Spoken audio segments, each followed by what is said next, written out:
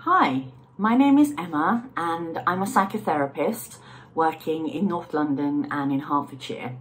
I thought it might be quite a good idea to just come on here, talk a little bit about what I do and the kinds of people that I see and in that give you more of a feel as to what I'm like as a person, what it might be like to work with me. I think the relationship that you build is central to any work that gets done in the room.